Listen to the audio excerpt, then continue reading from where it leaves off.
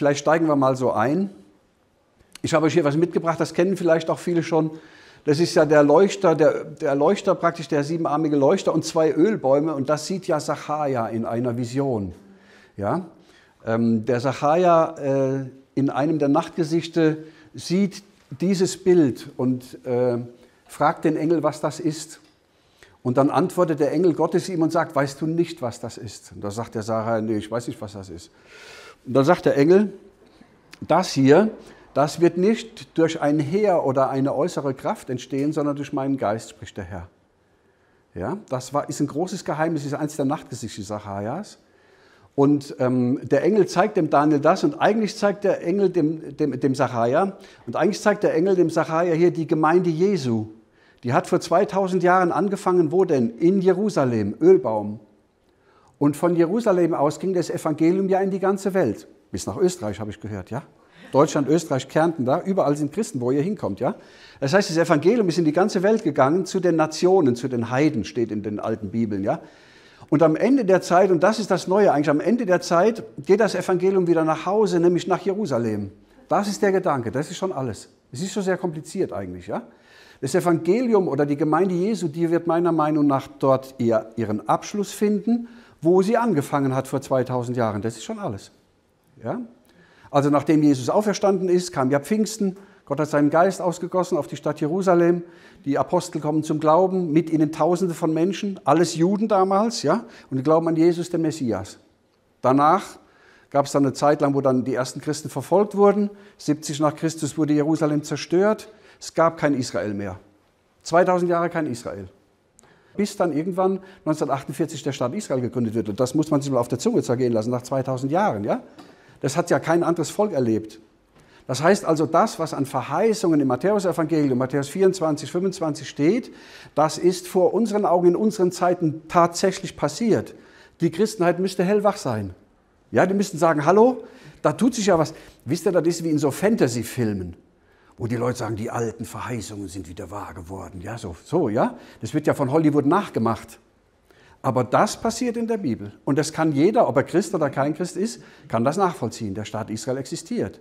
Und er muss existieren, um Matthäus 24, 25 in Erfüllung zu, zu bringen. Ja? Das heißt also, könnte es sein, dass die Zeit der Christenheit irgendwann abläuft. Und Israel ist ja auch schon 75 Jahre alt. Das ist ja schon lange.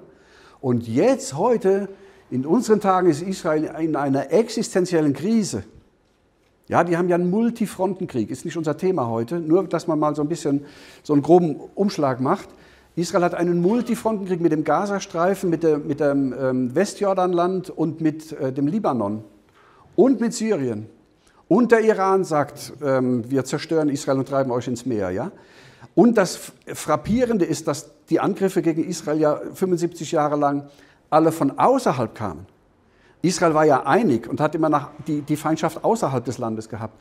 Aber jetzt im 75-jährigen Geburtstag sehen wir, dass Israel innerlich zerbrochen ist. Ja, weil der Norden lebt sehr modern. Die programmieren dort Apple, Microsoft, ja, das sind die ganzen großen Wirtschaftsprüfungsgesellschaften sind dort. Ähm, PricewaterhouseCoopers und so weiter haben riesige Hochhäuser in Tel Aviv stehen, hochmodern Hightech. Ja, ich habe selber Kunden gehabt bei der Bank, Junge Israelis, Mitte 30, äh, Internetmilliardäre, wollten in Deutschland Immobilien kaufen. Bin ich mit denen durch Deutschland gefahren und die haben Immobilien kaufen wollten.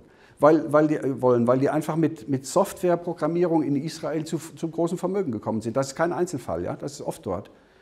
Und äh, im Süden haben wir, im, im, in Jerusalem haben wir eine orthodoxe Judenschaft, die eigentlich im Talmud lebt, im Mittelalter, in einer mittelalterlichen Gesetzesreligion, talmudisches Judentum, die jetzt aber aufgrund ihrer demografischen Entwicklung in Israel anfangen, und sagen, wir wollen, dass der Talmud wieder in ganz Israel gilt, auch in Tel Aviv. Ja? Und die in Tel Aviv sagen, nee, wir wollen so leben wie in Europa und noch viel doller. Ja? Also die machen Sachen, die will ich jetzt hier nicht nennen. Da geht es richtig ab in Israel. Techno-Partys, wenn ihr da Spaß dran habt, müsst ihr nach Israel fliegen. Ja? Das ist also sehr modern und sehr westlich und ein bisschen verkommen auch schon da im, im Norden. Das war aber in der Antike auch genauso. Das, was wir heute sehen, ist eine alte Geschichte. Und deswegen sage ich, müssen wir die Bibel ein bisschen kennen. Und wenn wir, die, wenn wir Jesaja kennen, Jeremia kennen, und die Zeiten aus der Antike, wie damals Israel war, König Omri und so, ja, das war genau wie heute. Der Norden war wirtschaftlich sehr stark, sehr modern, sehr erfolgreich und der Süden war Gott ergeben, aber immer schon ein bisschen ärmlicher. Und so etwas Ähnliches haben wir heute auch. Ja? Also das findet man heute fast wieder. Und nach dem, was ich jetzt so kurz mal skizziert habe, glaube ich, wenn Israel wieder im Land ist, sollten wir Christen uns vielleicht dafür ein bisschen interessieren und gucken, lass uns doch mal ein bisschen die Nase in die Bibel stecken und ein bisschen die biblische Historie kennenlernen. Ja, das tut uns sowieso gut als Christen, auch das Alte Testament ein bisschen zu kennen. Und vielleicht können wir darüber aus der Bibel raus ein bestimmtes Muster verstehen und dann mit der unserer heutigen Zeit abgleichen. Ja? Ich bin da immer sehr vorsichtig. Man kann die Tagespolitik nicht mit der Bibel einordnen. Mir wird auch vieles zu viel spekuliert im Internet. Vieles ist mir zu reißerisch. Ja? Für mich ist wichtig, dass man das sauber, strukturiert, nüchtern liest. Ja? Diese Texte sind ja von unseren Vorvätern auch gelesen worden, sehr nüchtern und manchmal kann man das analytisch tun. Ja? Und dann entsteht ein gesundes Bild und es gibt einen nüchternen, guten Glauben, einen geerdeten Glauben. Ja, das ist was Feines. Und in so irrsinnigen Zeiten wie jetzt hat man immer so einen Punkt, wo man sich darauf zurückziehen kann. Ja? Ich habe ja meine Seiten mit dem Griff, Psalm 23 finde ich immer. Ich, ich, hoffe, ihr auch. Ja? Sonst macht euch so ein Bändchen da rein bei Psalm 23. Manchmal muss man den lesen bei dem Irrsinn, der da draußen da läuft. Ja? Und dann macht man sich ein bisschen im Evangelium wieder fest. Das ist was Wertvolles. Ja? Okay, also das ist eigentlich, hat mit der Wiedergeburt Jerusalems zu tun, weil das die Gemeinde Jesu ist. Und die hat ja begonnen zu Jerusalem vor 2000 Jahren. Jetzt ist die Frage, wie geht denn die Gemeinde zu Ende? Es muss ja irgendwie zu Ende gehen. Geht das nochmal 1000 Jahre? 2000 Jahre gibt es ja schon die Gemeinde Jesu. Geht das nochmal 2000, nochmal 3, geht es nochmal 5000 Jahre? Was ist denn da so vorhergesagt, ja? Und wenn man das so mit der Bibel, mit den biblischen Zeiträumen sieht, dann sagt man, naja, von Adam bis Jesus waren 4000 Jahre. Von Jesus bis heute sind 2000 Jahre, macht 6000 Jahre. Kommt jetzt ein Schabbat-Jahrtausend, ein siebtes Jahrtausend. Ja? Sechs Wochentage, am siebten Tag war der Schabbat, der Tag, an dem man ruhte. Sechs Monate, im siebten Monat war das Passafest. 6000 Jahre, vielleicht kommt ein siebtes, ein tausendjähriges Reich, ein Friedensjahrtausend. Das ist nur mal ein Gedanke, den man so haben könnte. Ja? Und das sind alles so Punkte, wo ich sage, und jetzt so ein Irrsinn in der Welt, wo die Leute alle gaga sind im Kopf, was läuft denn da? Ja? Was ist denn hier los? Und ähm, deswegen glaube ich, ist das wichtig auch, dass man sich ein bisschen an der Bibel festmacht. Okay, die nächste Folie überspringe ich mal, weil ähm, wer da ein bisschen eingearbeitet ist, weiß, dass Sacharja noch zwei Zweige hier sieht. Ja? Also das ist die Gemeinde Jesu und an der Gemeinde Jesu sind noch zwei Zweige, an denen das Öl in den Leuchter läuft und wo die, wo die wo der Leuchter dann mit brennt, aber da springen wir jetzt mal ein bisschen drüber. Was ich euch zeigen möchte, sind im Wesentlichen diese Stellen hier. Also 2. Könige 19 aus dem Alten Testament, das schauen wir uns an. Dann gehen wir in Johannes Evangelium Kapitel 3, Jesus und Nikodemus, ganz spannendes Gespräch. Ja? Und dann schauen wir uns ein paar alttestamentliche und neutestamentliche Bibelstellen an und zum Schluss fassen wir das zusammen und versuchen da so eine Bedeutung zu finden für. Ja? Ähm Oh, habe ich falschen Knopf gedrückt? Jetzt? Moment. Ja. 2. Könige 19, im Jahr 702 vor Christus, ja, war Jerusalem vollkommen isoliert, politisch und militärisch vollkommen isoliert ähm, und wird von dem Sanherib belagert. Das hier ist der Sanherib, ja, den kann man sehen. Wir waren in Berlin, da im äh, Museum und äh, da habe ich einige Fotos gemacht auch. Ähm, Sanherib ist ein ähm, assyrischer äh, König, der seinen Feldherrn Herrn nach Jerusalem schickt, im Jahr 702. Und das ist die Situation, die da geherrscht hat. Ja, also man sieht, dass das assyrische Großreich, das hat sich ausgeweitet nach Süden. Hier ist das ägyptische Großreich, ja. Und Assyrien ist sehr groß geworden und hat sich ausgedehnt bis hier runter und hat auch ganz die alle Staaten hier erobert und hat auch Israel erobert und allein übrig geblieben ist nur noch Jerusalem wie eine Hütte im Weinberg. 702 vor Christus, historisch nachprüfbar. Was ich euch erzähle hier ist Weltgeschichte. Das ist nicht Poesiealbum. Ja, das kann man, ich zeige euch auch gleich Stellen aus der profanen Literatur. Das, was wir hier lesen gleich, das ist Weltgeschichte und das kann man archäologisch auch nachprüfen. Ja? Ähm, das war die politische Situation, das war der Sanherib, ja, ist kein Foto, ist nur so ein Stein gemeißelt, ja. Äh, so ungefähr sah er wohl aus, ja.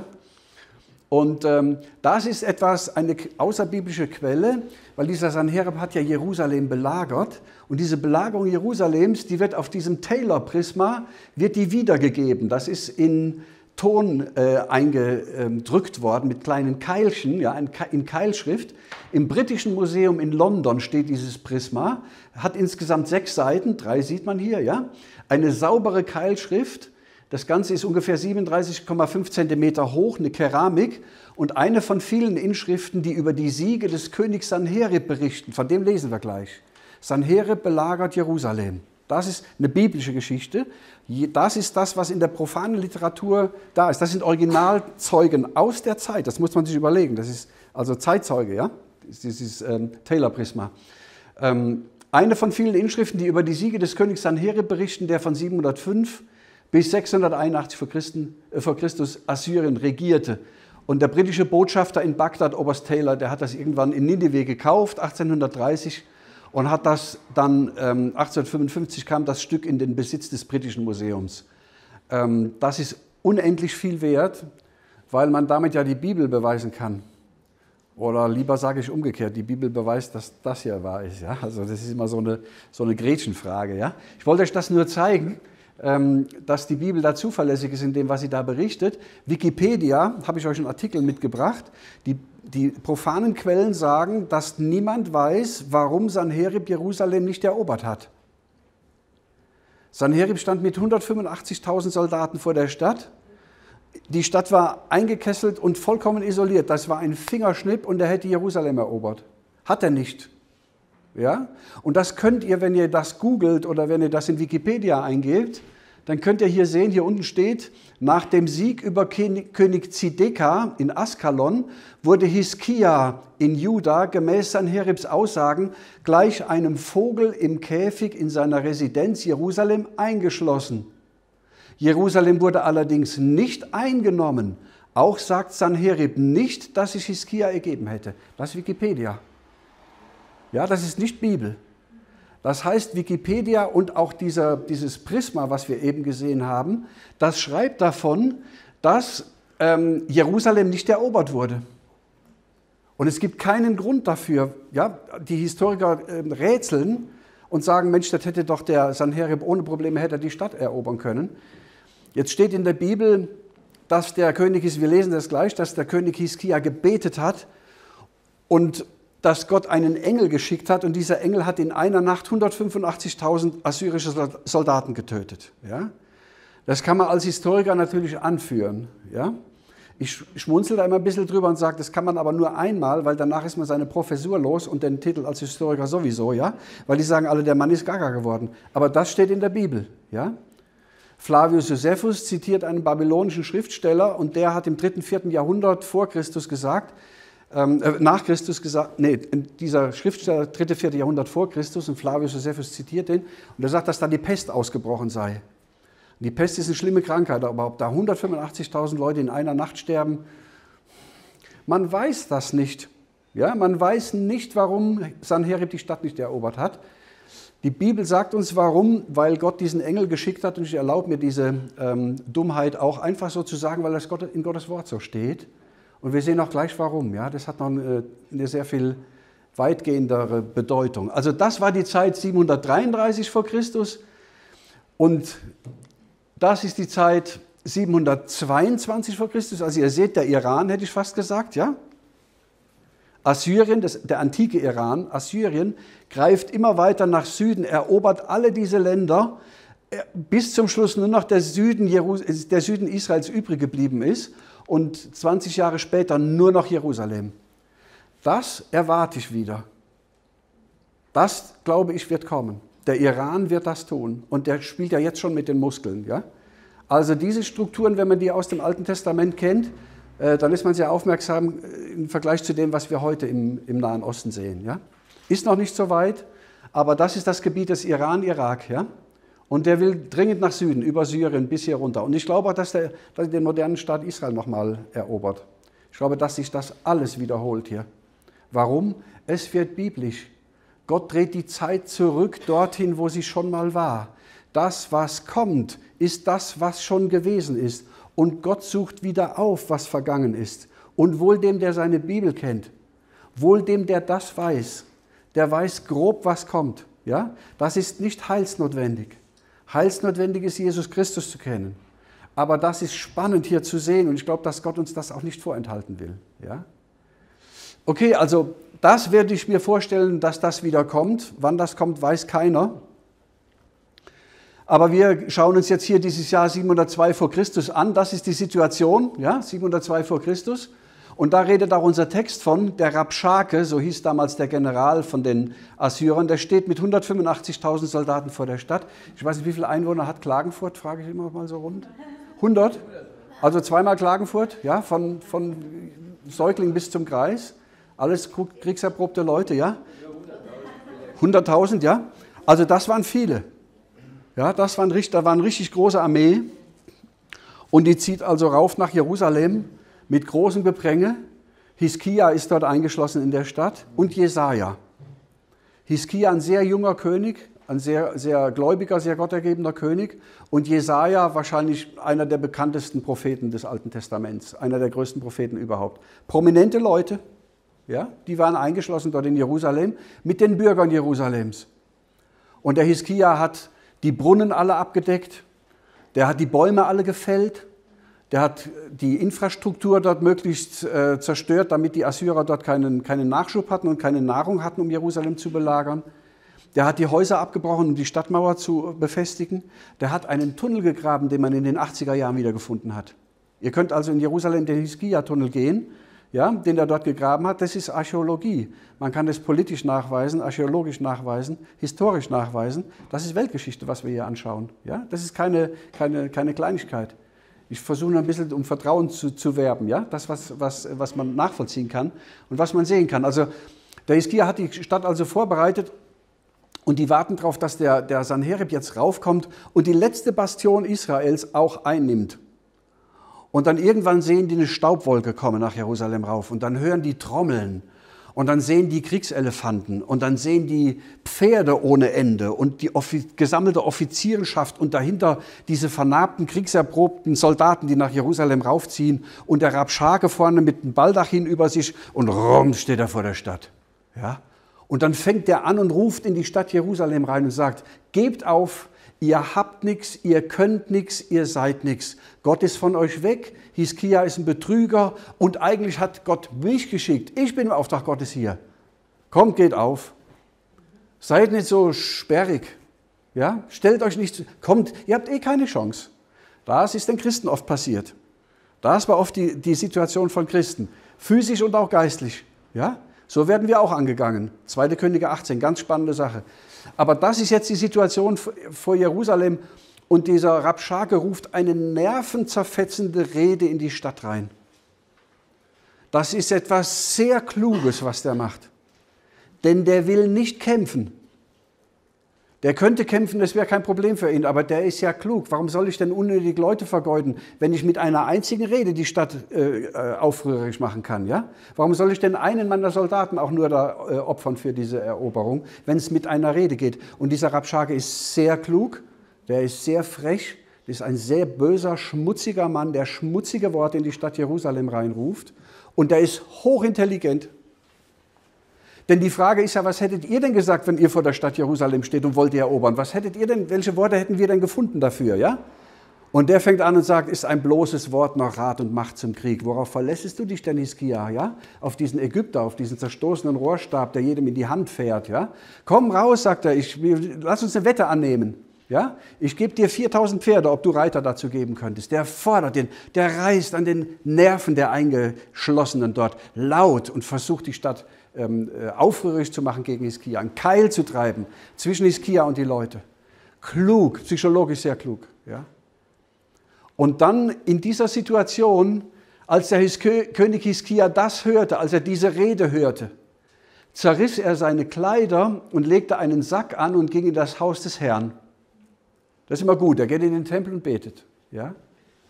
Und er sandte den Hofmeister Eliakim und den Schreiber Schebna samt den Ältesten der Priester mit Säcken angetan zu dem Propheten Jesaja. Also Jesaja und Hiskia sind in der Stadt, ja, zu dem Sohn des Amos. Und sie sprachen zu ihm, so sagt Hiskia, und jetzt wird spannend, über die Stelle bin ich gestolpert. Das ist ein Tag der Not. Warum? Ja, weil die belagert sind.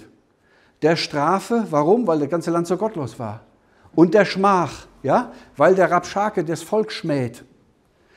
Wie wenn Kinder eben geboren werden sollen, aber die Kraft fehlt, sie zu gebären. Als ich das gelesen habe, habe ich gedacht, naja gut, wenn der Hiskia gebetet hätte, Herr, hilf uns, morgen sind wir alle tot. Das hätte ich verstanden. Ja? Wenn der gebetet hätte, Herr, da stehen 185.000 Soldaten vor der Stadt und die haben alle ihre Feinde erobert, hilf uns, morgen sind wir tot. Das hätte ich verstehen können. Hilf uns, weil die werden uns sehr langsam sterben lassen. Die Assyrer waren sehr grausam mit ihren Feinden. Die haben Dinge mit den Leuten gemacht, die will ich euch nicht sagen, da schläft man nicht gut nach. Ja? Die waren bekannt für ihre Grausamkeit. Das hat den König Hiskia erwartet. Das war seine Situation. Und ich hätte verstanden, wenn er gebetet hätte, Herr, hilf uns, schick deinen Engel. Ja, sowas. Aber dass er ein Problem damit hat, dass Kinder nicht geboren werden können, das hat für mich keinen Sinn gemacht. Es macht keinen Sinn.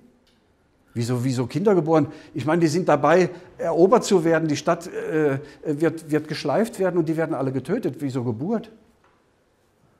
Und ich habe ein bisschen mit ähm, Israelis zu tun, auch mit orthodoxen Israelis. Die sind auch im Immobiliengeschäft gewesen, als ich noch gearbeitet habe habe ich die immer mal getroffen auf Messen irgendwo im Ausland und mit einem der, ähm, der ähm, jüdischen Investoren habe ich dann eine Verhandlung gehabt und als wir fertig waren, sage ich, ich habe noch eine andere Question.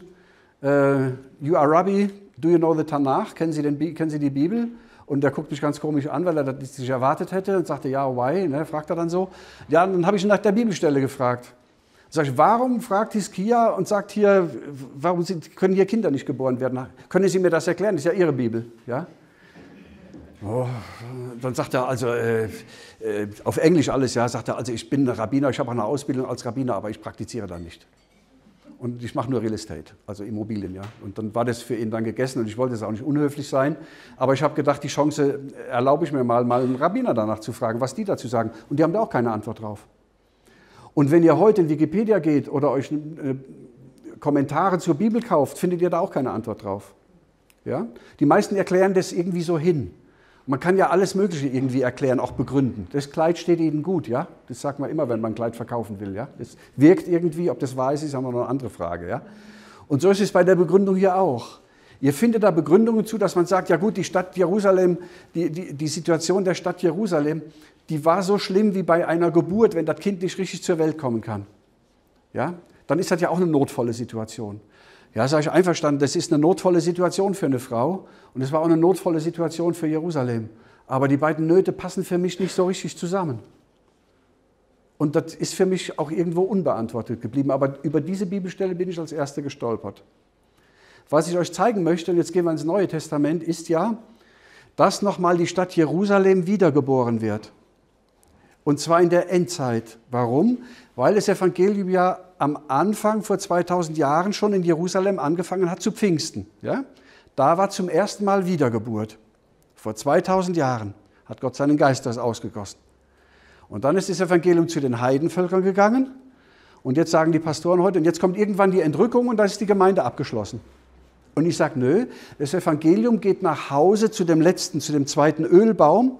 Und wenn Jerusalem wiedergeboren ist, so wie am Anfang, so am Ende, dann ist die Gemeinde vollständig. Dann haben wir einen Ölbaum und einen Ölbaum und in der Mitte den Leuchter. Ihr seid der Leuchter. Wir sind der Leuchter. Ja? Wir bringen das Evangelium als Licht zu den Völkern der Welt. Und das ist das, was Sacharja sieht und das ist der Gedanke. Und ich möchte versuchen, euch zu argumentieren an der Bibel, wo man das sehen kann und wie man das sehen kann. Ja? Deswegen habe ich euch die lange Geschichte hier erzählt. Das lassen wir mal einfach so stehen im Hinterkopf. Da kommen wir gleich wieder drauf zurück. Jetzt machen wir einen Sprung ins Neue Testament und zwar zu dem Gespräch zwischen Jesus und Nikodemus. Da sitzen jetzt auch zwei High Potentials. Ja? Da sitzt der Lehrer Israels und da sitzt der Eigentümer des Wortes Gottes. Die sitzen zusammen und wir spielen Mäuschen und hören dazu. Das ist eine ganz spannende Unterhaltung, die da ist. Und man glaubt nicht, dass man da noch was Neues findet. Ja? Weil wir, die meisten Christen sagen, ja, da habe ich ganz viele Predigten schon drüber gehört und da gibt es eigentlich nichts Neues zu finden. Aber wir hören mal genau hin. Ja? Also, das ist ein bisschen viel Text, aber den mute ich euch zu. Also Johannes 3, Vers 1, es war aber ein Mensch unter den Pharisäern, ich wiederhole mich hier, aber ich finde das wichtig, dass die Bibel sagt, es war ein Mensch unter den Pharisäern. Ja? Ja? Es hätte doch, sie hätte auch schreiben können, es war aber ein Pharisäer mit Namen Nikodemus, ja? Der war ein Lehrer, das hätte die Bibel doch sagen können. Aber die Bibel sagt, es war ein Mensch unter diesen ganzen Krokodilen. Ein Mensch unter diesen eisgekühlten Bescheidwissern, das will die Bibel sagen. Ein Mensch, da kommt ein Mensch zu Jesus. Das ist doch toll, dass der als der Lehrer Israels zu Jesus geht und sagt, lass uns mal sprechen miteinander. Da ist doch was an dir. Du, das, was du tust, das kann doch niemand tun, außer Gott ist mit ihm. Ich muss mal mit dir reden. Ich habe nur ein Problem mit meinen Kollegen, deswegen komme ich halt nachts zu dir, ja? damit mich niemand sieht. Ja? Aber der kam wenigstens mal. Ja? Das ist doch toll. Ja? Ein 50-jähriger Mann wahrscheinlich im besten Alter, der Lehrer Israels, wahrscheinlich mit eigener Bibelschule und Yeshiva und mit allen Meriten ausgezeichnet, ja, in Israel. Und ein Wanderprediger. Ja? Und jetzt kommt, mit 30 Jahren, und jetzt kommt dieser Nikodemus zu Jesus, ja? Und das Schöne ist, die Bibel sagt, ein Mensch, ja?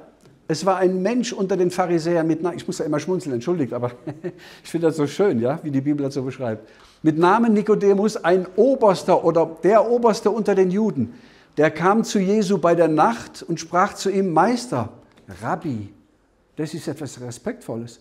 Ich meine, der war 50 Jahre und Jesus war 30, ja? Er sagt, Meister, wir wissen, das ist ein Whistleblower. Wir im Hohen Rat wissen das. Wir geben das nur nicht zu, weil du nämlich an unserem Machtgefüge rüttelst. Und das wollen wir nicht. Aber wir wissen schon. Wir wissen genau, was läuft. Wir wissen auch, dass du ein Lehrer bist, ja, von Gott gekommen. Niemand kann die Zeichen tun, die du tust, es sei denn Gott mit ihm. Holala. Wir wissen. Und niemand kann das tun, was du tust. Gott scheint mit dir zu sein. Ich muss reden mit dir. Ich bin auch jemand, der sucht. Der wollte der wollt ja auch die Wahrheit wissen, ja? Und dann redet Jesus mit ihm und sagt zu ihm, Jesus antwortet und sprach zu ihm, wahrlich, wahrlich, ich sage dir, es sei denn, dass jemand von neuem geboren werde. Das ist ja unser Thema hier, ja? Es sei denn, dass jemand von neuem geboren werde, so kann er das Reich Gottes nicht sehen. Nikodemus spricht zu ihm, wie kann ein Mensch geboren werden, wenn er alt ist? Kann er auch wiederum in seiner Mutter Leib gehen und geboren werden? Jesus antwortete und sprach zu ihm, bist du ein Meister in Israel und weißt das nicht? Ist ja ein Tadel, oder? Ja? Ganz wichtiger Vers für meine Kinder im Religionsunterricht, habe ich Ihnen gesagt. Könnt ihr einen Religionslehrer fragen, was steht in Johannes 3, Vers 10? Dann sagt er, weiß ich nicht. Dann könnt ihr sagen, bist du ein Lehrer in Israel und weißt das nicht. Ja? Haben die sich sofort gemerkt. Englische Vokabeln ist schwierig zu merken, aber das ging gut. Ja? Also, ähm, Okay. Was, was macht Jesus da? Also der Nikodemus sagt, wir wissen, du bist ein Lehrer von Gott gekommen. Und Jesus sagt, du weißt überhaupt nicht, wer vor dir sitzt. Ich bin kein Lehrer von Gott gekommen. Ich bin Gott selbst. Ich bin Gott im Fleisch geoffenbart. Und du kannst nicht wissen, wer ich bin, wenn du nicht von neuem geboren bist. Dann kannst du das Reich Gottes nicht sehen, du kannst ja nicht verstehen, wer Jesus wirklich ist. Dazu muss man von neuem geboren werden. Also hier geht es um Wiedergeburt. Jesus redet mit Nikodemus um Wieder, über Wiedergeburt über etwas Heilsnotwendiges. Und das ist natürlich schon heftig jetzt, ja, weil der Nikodemus kommt ja sehr, sehr, sehr respektvoll eigentlich, ja, und sagt, Meister, wir wissen, du bist ein Lehrer von Gott gekommen. Und Jesus sagt zu ihm ganz unbestechlich, ja, und sagt, Nikodemus, du musst von neuem geboren werden, sonst weißt du überhaupt nicht, was du hier, wen du hier gerade gegenüber, wem du gerade gegenüber sitzt. Das kannst du nicht wissen. Und wenn du nicht von neuem geboren wirst, kannst du das Reich Gottes auch nicht sehen. Das gilt bis heute, ja. Und der Nikodemus, der versteht das ganz, ganz irdisch. Ja? Er sagt, wie kann ein Mensch geboren werden, wenn er alt ist? Kann er auch wiederum in seiner Mutter Leib gehen und geboren werden? Der versteht das nicht geistlich, sondern er versteht das biologisch, konkret, irdisch. Ja? Der hat gar keine geistliche Komponente, um das zu verstehen, was Jesus sagt. Ich meine, das war natürlich auch Altes Testament vor 2000 Jahren. Der arme Mann, ja. Man muss ja fast ein bisschen Mitleid mit ihm haben. Das ist ja ein Anspruch, den Jesus da hat an ihn, ja. Und dann sagt Jesus zu ihm, Jesus antwortete und sprach zu ihm, bist du ein Meister in Israel und weißt das nicht? Was? Naja, dass man von neuem geboren werden muss. Ja gut, aber woher hätte denn der Nikodemus davon wissen sollen? Aus dem Alten Testament. Warum aus dem Alten Testament? Naja, er war ja der Lehrer Israels. Und er kommt ja zu Jesus mit diesen Themen, mit diesen Fragen. Und Jesus sagt, du als Lehrer Israels, du müsstest von der Wiedergeburt wissen. Woher aus dem Alten Testament? Warum aus dem Alten Testament? Ja, weil das Neue noch nicht geschrieben war. Ja? Gab es ja noch kein Neues Testament. Ja? Ist er später erst gekommen. Das heißt also, es muss im Alten Testament muss, muss die Wiedergeburt enthalten sein. Das war ein Gedanke, den ich hatte. Irgendwo im Alten Testament muss die Wiedergeburt schon drinstehen. Steht denn Golgatha im Alten Testament? Ah ja, natürlich. Deswegen sind wir ja Christen. Ja? Das heißt also, Golgatha steht im Alten Testament und da kennen wir ganz viele Stellen für, gucken wir uns gleich an. Aber wo steht denn die Wiedergeburt im Alten Testament? Also habe ich in den letzten 30 Jahren jeden, den ich gefunden habe, gefragt, wo steht denn die Wiedergeburt im Alten Testament? Und da waren Theologen bei, da waren promovierte Theologen bei, Doktor der Theologie. Und jeden, den ich gefunden habe, der irgendwo Pastor war, Ältester war, Theologe, habe ich gefragt danach. Und alle haben mir die gleiche Antwort gegeben, bis auf einen. Ja? Alle haben mir die Antwort gegeben und haben gesagt, in Hesekiel 11 und in Hesekiel 36 steht von der Wiedergeburt. Schauen wir uns gleich an. Was ich euch nur sagen will, ich habe alle gefragt, wo, ihr Meister in Israel, wisst ihr, wo die Wiedergeburt im Alten Testament steht? Und die haben nur diese eine Stelle aus Hesekiel gehabt. Und das fand ich erstaunlich. Das, das ist mir zu wenig gewesen. Ja? Okay, wir schauen das Gespräch mal noch weiter. Jetzt habe ich wieder den falschen Knopf. Schauen wir noch mal weiter an. Also Jesus tadelt den Nikodemus und sagt, du bist dann Meister in Israel, weiß das nicht. Und jetzt geht Jesus noch weiter und jetzt fordert er ihn richtig heraus. Ja? Weil der Nikodemus kommt ja und sagt, wir wissen, du bist. Nikodemus will Jesus definieren. Und Nikodemus sagt, setz dich hin, hör zu, wie soll ich dir das erklären? Das ist wie der Wind, der draußen weht. Ja, du weißt nicht, woher er kommt und wohin er geht, so ist ein jeglicher, der aus dem Geist geboren ist. Ja? Das heißt, Nikodemus kommt und sagt, wir wissen. Und Jesus sagt, okay, wenn du weißt, dann lass uns mal über mein Wort reden. Du musst von neuem geboren werden. Und das steht im Alten Testament, im Tanach. Und warum weißt du das nicht? Oh, da fliegen aber Funken, oder? Da hat der Nikodemus da gesessen, hat sich auf die Unterlippe gebissen. Ja? Der Mann ist 30 Jahre alt. Der hat nachweislich Wunder getan in Israel. Da sind Blinde sehend geworden und Lahme gehend. Und der tadelt ihn jetzt und sagt, du kennst ja deine eigene Bibel nicht, Nikodemus. Und das habe ich mit den Theologen auch ein bisschen gemacht. Ich habe gesagt, wo steht das denn? Ich habe gefragt, wie Jesus auch. Ja? Okay, also jetzt fordert ihn Jesus und er sagt, so wie Mose in der Wüste eine Schlange erhöht hat, also muss des Menschensohn erhöht werden, auf dass alle, die an ihn glauben, nicht verloren werden, also man kann wohl verloren gehen, ja, sondern das ewige Leben haben. Also hat Gott die Welt geliebt, dass er seinen eingeborenen Sohn gab, auf dass alle, die an ihn glauben, nicht verloren werden, sondern das ewige Leben haben. Da hat der Nikodemus nur noch Bahnhof verstanden. Wie erhöht? Du? Bist du der Sohn Gottes? Wieso hat Gott einen Sohn? Und wer sollte das sein? Ja? Wir lesen das ja heute nach 2000 Jahren, für uns ist das ja Marschgepäck. Ja, wenn da gepredigt wird in der, in der Gemeinde drüber, dann sagen ja alle, ja gut, das kennen wir alle schon, die Texte kennen wir alle schon. Aber für den Nikodemus damals, wie erhöht? Was meinst du mit erhöht? Wie, wieso? Mose hat in der Wüste eine Schlange erhöht und das soll nochmal wiederholt werden? Und es soll wiederholt werden mit dem Sohn Gottes, der wird erhöht. Wird denn der Sohn Gottes wie, wie eine Schlange auf einem Stab erhöht? Ja, der ist nach Hause gegangen, das war für den vollkommen nicht zu verstehen. Und einige Monate später, als Jesus dann gekreuzigt wurde, da steht Nikodemus unterm Kreuz und sagt, jetzt ist er erhöht. Jetzt verstehe ich. Ja, aber das, war, das hat ihn so bewegt, dass Nikodemus zum Glauben gekommen ist. Dann hat er angefangen zu verstehen. Langsam, Stück für Stück, hat Jesus vom Kreuz genommen, ja? Also eigentlich Josef von Arimathea, aber Nikodemus ist nachher dann dazugestoßen, ja? Und hat sich am Sabbat verunreinigt an den Toten. Und wusste ganz genau, dass er das Richtige gemacht hat. Ja? Und als Jesus auferstanden ist, da sagt Nikodemus, ja, es war nicht umsonst. Ja? Und das wird so kommen, wenn Jesus wiederkommt, dann werden die Christen sagen, ja. Und das würde ich euch allen wünschen, dass da alle bei sind und ja sagen. Ja? Das wäre wär schön. Ja? Das ist was Gutes, was Wichtiges. Das wird kommen. Ja? Okay, also Jesus äh, sagt zu Nikodemus, spricht zu Nikodemus von Golgatha. Ja? Er sagt, Mose hat in der Wüste eine Schlange erhöht, weil das Volk Gottes war ungehorsam. Die haben gemurrt in der Wüste. Da hat Gott feurige Schlangen geschickt, die haben Israel gebissen. Und die Israelis äh, sind gestorben und Mose ruft zu Gott. Und da sagt Gott, richte eine Schlange auf aus Bronze. Die hat in der Sonne geglüht und geleuchtet wie diese glühenden Schlangen. Und alle, die darauf geschaut haben, sind nicht gestorben von den Schlangenbissen. Und so ist Jesus erhöht worden auf Golgatha und auf Golgatha zur Sünde gemacht worden, auf dass alle, die auf ihn schauen, die an ihn glauben, nicht verloren werden. Das ist das Bild. Das ist gigantisch. Ja? Das ist ein so starkes Bild. Das darf ich aber nur hier sagen. Wenn ich das in der Synagoge sage, fliege ich ja hochkant raus. Die Rabbiner sagen, du kannst ja nicht aus Moses Schlange was von deinem Jeschu machen. Das, was macht ihr denn mit unserem Tanach? Das dürft ihr nicht. Das ist nicht euer Wort, das ist unser. Ja? Das wäre in der Synagoge ein Skandal und war es damals auch. Ja? Nur in einem christlichen Umfeld ist das nicht mehr so ein Skandal. Aber dort schon. Ja? Das heißt also, Jesus hat dieses Bild, das Mose in der Wüste eine Schlange erhöht hat, auf Golgatha gedeutet. Ach so, ja, dann redet Jesus also mit Nikodemus über zwei Themen, über Golgatha und über die Wiedergeburt. Genau. Ja, dann wären das die beiden Themen, die Jesus mit Nikodemus bespricht? Genau. Ja, dann sind aber genau die beiden Themen, die man braucht, um in den Himmel zu kommen. Ja? Weil auf Golgatha die Sünden, sind die Sünden der Welt gesühnt worden. Aber ich muss auch persönlich glauben, ich muss auch wiedergeboren sein. Und wenn die beiden Dinge zusammenkommen, dann hat der Mensch das Heil gefunden. Das ist ein Sechser im Lotto. Wer hat, wer hat es? Ja, hat irgendjemand gesagt, ja? Das ist ein Sechser im Lotto. Ich habe den Nobelpreis gewonnen, hast du gesagt gestern, hat jemand, ja? Hat das Gefühl gehabt. Als er, Johannes Ramel hat es gesagt, ja? Schön, ja? Er hat einen Nobelpreis gewonnen, als er gemerkt hat, dass er Jesus gefunden hat, ja? So wertvoll war ihm das.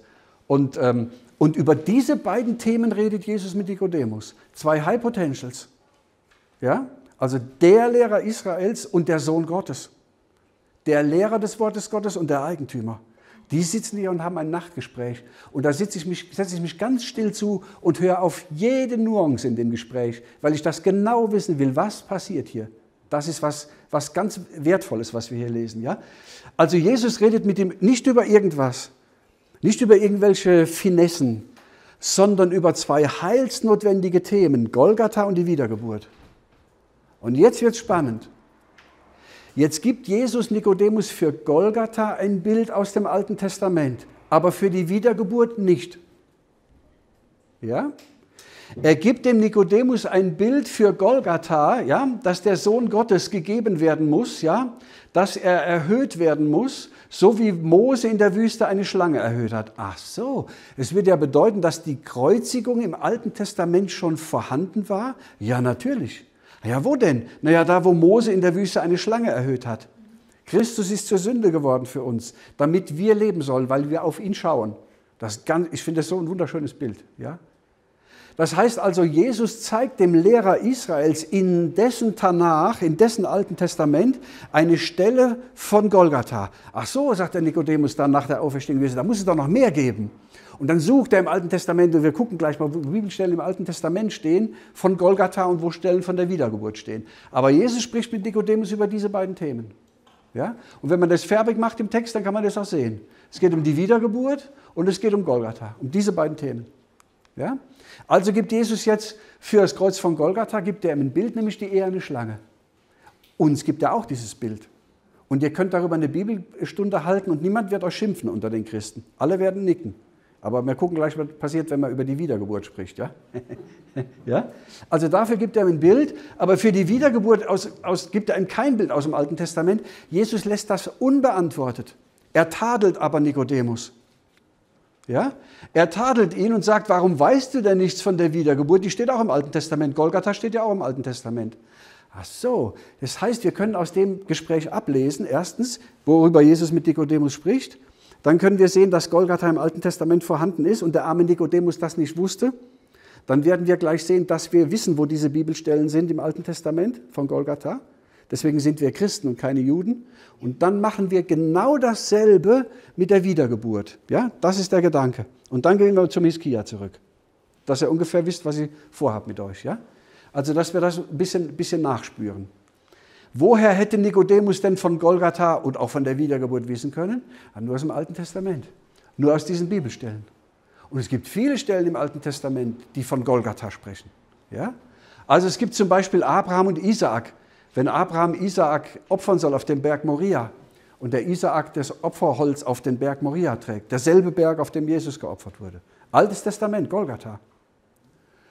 Das Passalam, das geschlachtet wurde, ja, und dessen Blut an die Türpfosten gestrichen wurde, Blut auf Holz, Golgatha. Der Sündenbock, ja, da wurde, das ist am modernen Sprachgebrauch übergegangen auch, ja, aber es gab damals einen Ziegenbock und auf den legte einmal im Jahr der hohe Priester seine Hand und legte die Sünden des Volkes auf diesen Ziegenbock, den Asazel, Und der wurde dann in die Wüste gejagt, ist auch im deutschen Sprachgebrauch übergegangen, ja, und, wurde, und starb dann dort. Ja? Das heißt also praktisch der Sündenbock von Mose, der die Wüste des Volkes wegträgt. Ja?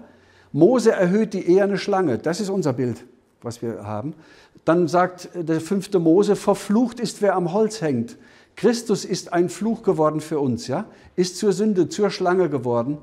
Wer am Holz hängt, 5. Mose 21, und Paulus nimmt Bezug in Galater 3, der Emanuel in Jesaja 7, der Gottesknecht Jesaja 53, der Leidenspsalm, alle Sünd, Schuld, Schlacht und Speisopfer, alles das spricht von Golgatha im Alten Testament.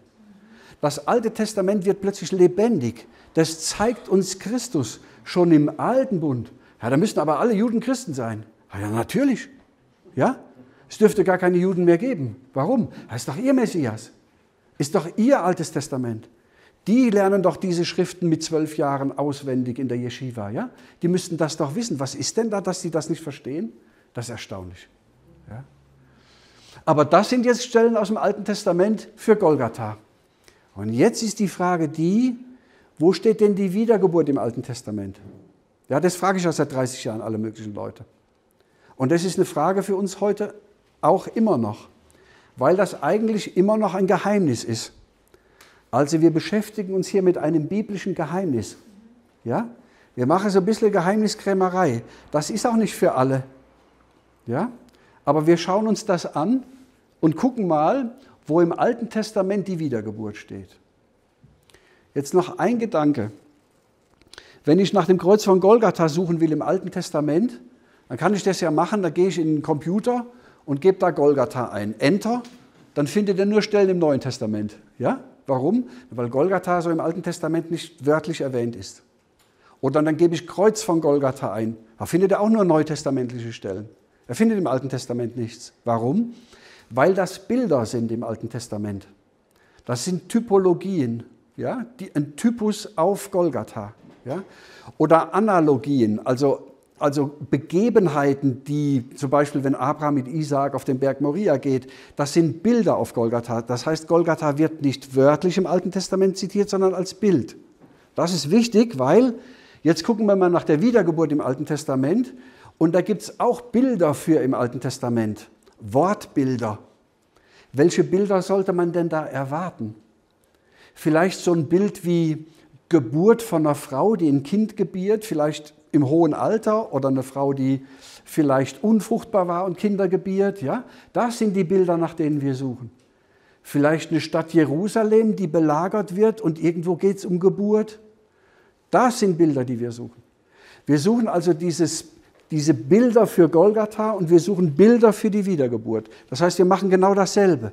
Ich sage das extra, damit ihr versteht, wir machen nichts Ungewöhnliches oder wir machen nichts Unerlaubtes, wir machen das, was wir mit Golgatha schon sehr gut kennen, machen wir jetzt mit der Wiedergeburt und gucken mal, was dabei rauskommt. Ja? Also, immer wenn ich irgendjemand gefragt habe, wo steht denn die Wiedergeburt im Alten Testament, dann haben mir alle, bis auf einen Theologen, bis auf einen, haben mir diese Bibelstelle genannt, Hesekiel 11 oder Hesekiel 36. Ja? Und da steht, ich will euch ein neues Herz und einen neuen Geist geben in euch geben und will das steinerne Herz aus eurem Fleisch wegnehmen und euch ein fleischernes Herz geben. Ich will meinen Geist in euch geben und will solche Leute aus euch machen, die in meinen Geboten wandeln und so weiter und meine Rechte tun. Ja?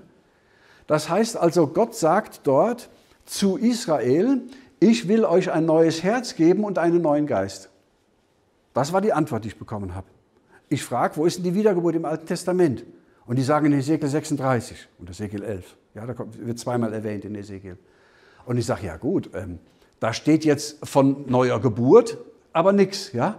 Da steht nur, dass Gott ihnen einen neuen Geist geben will und was von Herztransplantation. Ja? Aber nichts von Geburt. Dann sagen die mir, ja, ja gut, aber wer ein neues Herz hat und wer, wer einen neuen Geist hat im neutestamentlichen Sinn, der ist ja Christ. Und dann ist er auch wiedergeboren. Sage ich, einverstanden.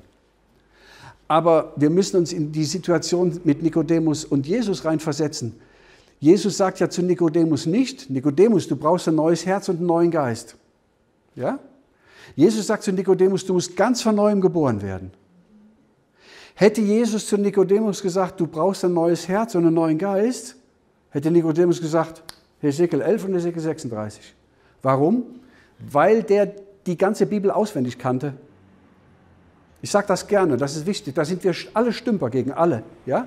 Die kannten die Bibel auswendig. Ein Freund von mir war Pastor in der Slowakei in einer reformierten Kirche und zur Konfirmation haben dort die Konfirmanden die Psalmen aufsagen müssen. Und es ging so, sag mal Psalm 38 und den haben die auswendig gekonnt. Sag mal Psalm 57 Sag mal Psalm 23. Ja gut, da ist meine Bibel auch noch mit voll verwirrten Seiten. Ja. Sag mal Psalm 110. Und die konnten die auswendig, die, die, konnten alle 150 Psalmen auswendig, weil die in deren Gesangbuch sind. Ja? Und Nikodemus war noch, noch besser, der kannte die ganze Bibel auswendig. Das gibt es heute. Ja? Und wenn Jesus gesagt hätte zu ihm, du brauchst ein neues Herz und einen neuen Geist, dann hätte Nikodemus gesagt, kein Problem, da steht's. Macht Jesus aber nicht. Warum denn nicht? weil Jesus den Nikodemus überfordern will. Der sagt, wenn du kommst und sagst, wir wissen, du bist ein Lehrer von Gott gesandt, niemand kann die Dinge tun, die du tust, es sei denn Gott mit ihm, dann setz dich hin, Nikodemus, du kannst überhaupt nicht verstehen, wer ich bin, wenn du nicht von neuem geboren wirst. Und warum weißt du nichts davon? Jetzt lass mal reden über Mose und in der Wüste. Weißt du, was du da liest, wenn du das liest? Weißt du, wovon das spricht? Von mir. Ich bin der, der erhöht wird. Das, das war das Gespräch. Da schlägt's Funken. Ja? Das ist kein langweiliges Gespräch, was irgendwo in Johannes 3 steht. Das reibt sich aneinander. Das sind zwei High Potentials. Der, der eine versucht zu verstehen, wer vor ihm ist. Und Jesus redet solche Dinge. Das ist großartig. Das ist spannend, ja. Und das passiert hier. Und, und ihr könnt das ja auch nach. Fragt doch mal eure Pastoren in den Gemeinden, wo von der Wiedergeburt. Macht doch mal das Experiment, ja. Und ihr werdet sehen, was sie euch sagen. Die sagen euch genau hier Hesekiel. Dann könnt ihr sagen, das hat der Kleine uns schon erzählt, der hat wohl recht, ja. Könnt ihr ruhig mal fragen, ist ja nicht Schlimmes, kann man ja, ja, ist ja ein biblisches Thema. Ähm, aber Jesus sagt nicht, Nikodemus, du brauchst ein neues Herz und einen neuen Geist, sondern er sagt, du musst ganz von neuem geboren werden. Und damit war Nikodemus vollkommen überfordert. Der hat nur noch Bahnhof verstanden, bis Jesus gestorben und auferstanden ist. Ja? So, also Hesekiel 11 und 36 reden von Herztransplantation, neues Herz und neuer Geist, aber nicht von Geburt. Und wenn ihr ins Krankenhaus geht, dann ist der Kreissaal an einer ganz anderen Ecke, wo die Herzchirurgie ist. Ja? Ich will das nur ein bisschen plastisch machen. Das hat gar nichts miteinander zu tun. Mittelbar natürlich schon. Ja? Aber Jesus fragt Nikodemus nicht nach einem neuen Herz und nach einem neuen Geist, weil er genau weiß, dass Nikodemus dann diese Stelle nennt. Und dann frage ich immer zurück und sage, ist das die einzige Stelle, die du kennst aus dem Alten Testament? Ja? Gibt es nicht noch mehr? Ich meine, für Golgatha gibt es doch auch vier, fünf, sechs, acht, zehn Stellen, zwölf Begebenheiten, Geschichten, Beispiele, Gleichnisse, Analogien, Synologien, Typologien. Ja? Das müsst ihr doch von, von der Wiedergeburt, ist ein heilsnotwendiges Thema. Wieso ist das denn nicht bekannt bei euch? Und dann wird es fast wie beim Nikodemus, beißen die sich auch auf die Unterlippe. Aber darf man doch mal fragen, oder? Moment, das ist doch ein heilsnotwendiges Thema. Ist doch wichtig. Ja? Um, wieder, um in den Himmel zu kommen, muss man wiedergeboren sein. Also das ist eine, Bibelstelle, die immer zitiert wird, aber wo ich sage, nee, die hat mit Geburt aber doch nichts zu tun. Wir suchen aber Stellen, wo es um Geburt geht, um Geburtswehen, um eine Geburt, die vielleicht überhaupt nicht möglich war oder um eine Geburt, die nicht durch Heer oder Kraft geschieht. Sowas irgendwo. Das sind die Typen, die wir im Alten Testament suchen. Ja? Also hätte Jesus gesagt, du musst ein neues Herz und einen neuen Geist haben, hätte Nikodemus sofort an Ezekiel gedacht. Ja? Jesus tut das aber nicht, sondern er sagt, du musst ganz von neuem geboren werden. Und damit war er überfordert. Und jetzt machen wir Folgendes und gucken mal, ob wir Bibelstellen im Alten Testament finden, die mit Geburt zu tun haben. Und wir gucken mal, ob diese Geburtsstellen irgendwie mit Jerusalem zu tun haben. Weil Jerusalem ja schon mal Geburt erlebt hat zu Pfingsten. Dann wären das ja alttestamentliche Prophetien auf die Wiedergeburt zu Pfingsten oder vielleicht auf die, die noch kommt, ja? Oder auf unsere Wiedergeburt. Das suchen wir jetzt mal. Also wir gucken mal in Jeremia 4, Vers 15. Da steht, ich habe die alte Lutherbibel, ja, da steht, horch, es kommt ein Geschrei von Dan her und eine böse Botschaft vom Gebirge Ephraim. Sagt an den Völkern, verkündet in Jerusalem, Belagerer kommen aus fernen Landen und erheben Kriegsgeschrei gegen die Städte Judas. Sie werden sich um Jerusalem her lagern wie die Wächter auf dem Felde denn es hat mich erzürnt, spricht der Herr. Das ist jetzt 605 vor Christus. Eben das war 702 vor Christus Assyrer, Hiskia. Jetzt sind wir bei Nebukadnezar, 100 Jahre später, 605 vor Christus. Die Babylonier kommen nach Jerusalem und belagern die Stadt Jerusalem und Jeremia spricht praktisch wie ein Prophet im Geist. Ja? Er sagt, denn ich höre ein Geschrei wie von einer Gebärenden. Ach so, jetzt geht es irgendwie um Geburt, um Wiedergeburt. Was? Ja, hier geht es ja ganz um eine ganz komische Geburt. Ich höre ein Geschrei wie von einer Gebärenden, Angstrufe wie von einer, die in ersten Kindsnöten ist, in Wehen. Ein Geschrei der Tochter Zion, ach, da geht es um Jerusalem ja, die da keucht und die Hände ausbreitet, ach weh mir, ich muss schier vergehen vor den Würgern, weil die Babylonier die Stadt angreifen. Ach, das ist ja fast wie bei Hiskia. Jetzt greifen die Babylonier die Stadt an, knapp 100 Jahre später. Die Tochter Zion wieder allein, wieder isoliert, wie damals bei Hiskia.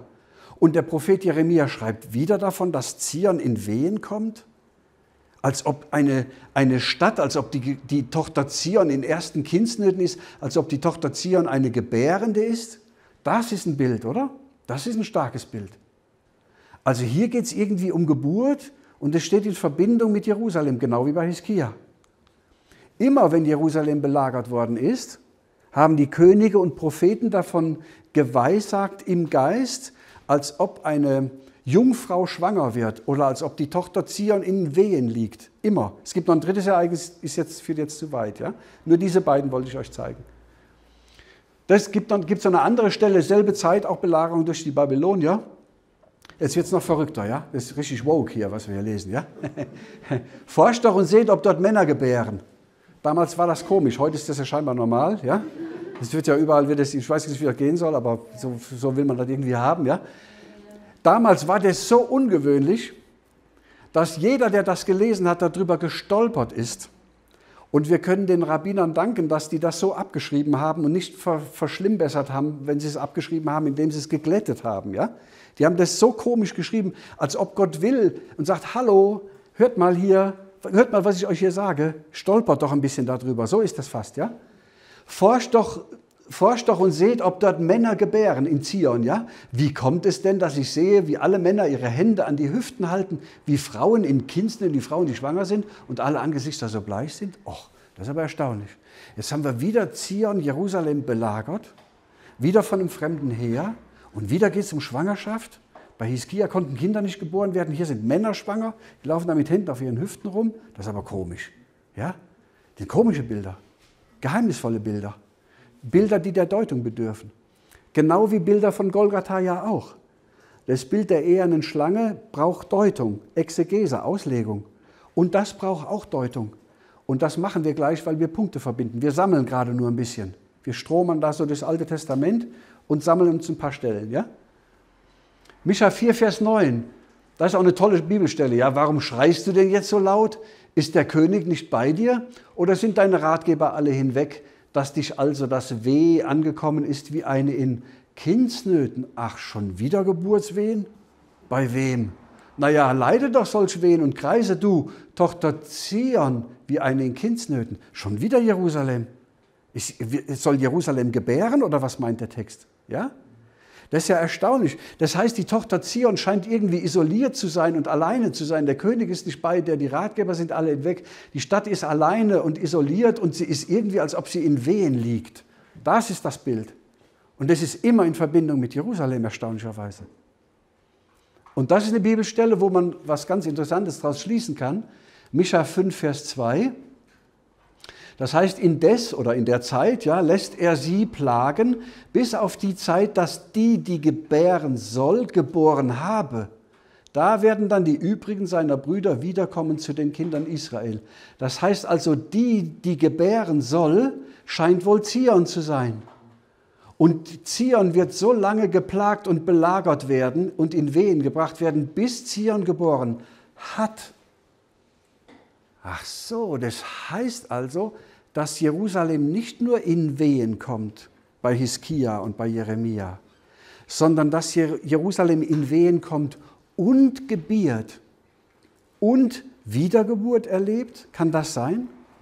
Ist das das Bild? Hat Jerusalem schon mal geboren? Ja. Wann denn?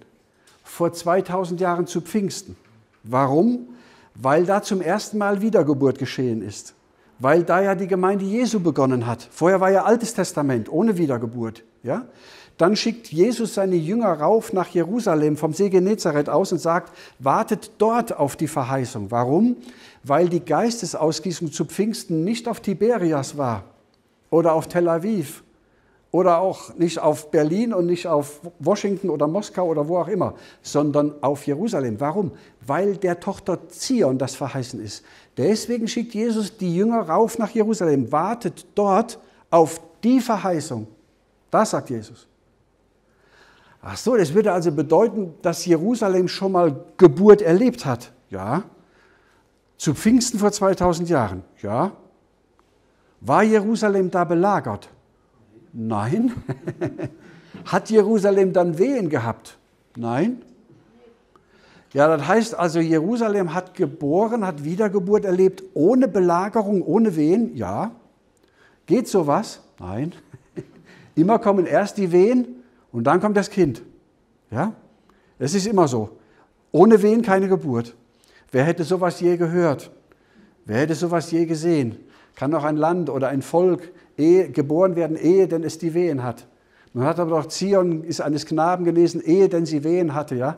Sie hat ein Kind geboren, ehe denn sie Geburtswehen hatte. Wer hat solches je gesehen? Wer hat solches je gehört? Wir. Wir Christen. Wann denn? Naja, von Pfingsten damals. Und die Stelle, die ich so zitiert habe, ist Jesaja 66. Ach so, dann steht in Jesaja 66 von Pfingsten, ja. Könnte es denn sein, dass alles, was im Neuen Testament steht, schon im Alten Testament steht? Ja, aber unbedingt.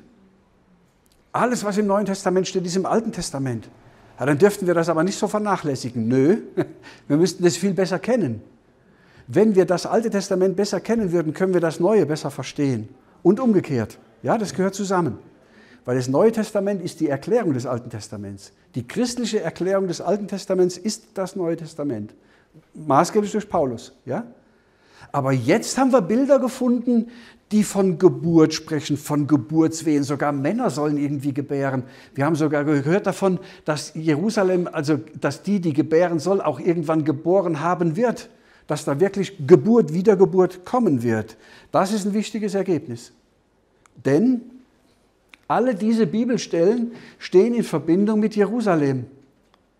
Ja? Und dessen Belagerung durch ein ausländisches Heer. Dabei wird die Angst der Bürger von Jerusalem während der Belagerung mit Geburtswehen verglichen. Als wenn die Stadt in Druck kommt, die Tochter Zion wird bedrängt von außen und die kommt wie in, wie in Geburtswehen. Das ist das prophetische Bild, was das Alte Testament hat dafür. Ja? Und auch zweite Könige gehört dazu, weil da steht, so sagt Hiskia, das ist ein Tag der Not, der Strafe und der Schmach, wie wenn Kinder eben geboren werden sollen, aber die Kraft fehlt, sie zu gebären.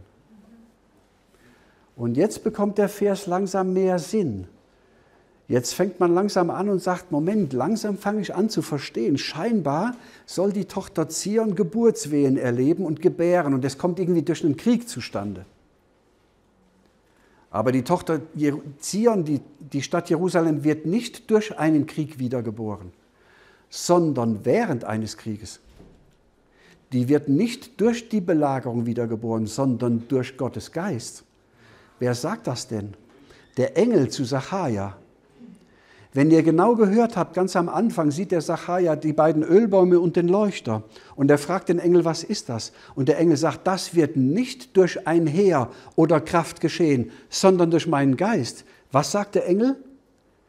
Der sagt, das, was du da siehst, ist die Gemeinde Jesu und die besteht aus Juden, aus Juden und aus Heiden.